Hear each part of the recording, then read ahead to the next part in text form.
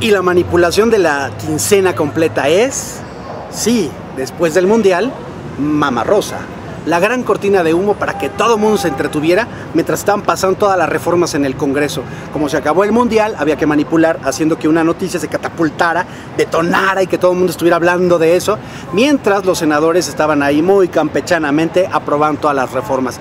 Caíste en la manipulación, digo, si hasta Lenita Poniatowska cayó, todos los ahí que estaban que intelectuales opinando de Mamarrosa, bueno, hasta Vicente Fox, igual que la Poniatowska, están metidos en el mismo tema. Esa es la manipulación de la quincena.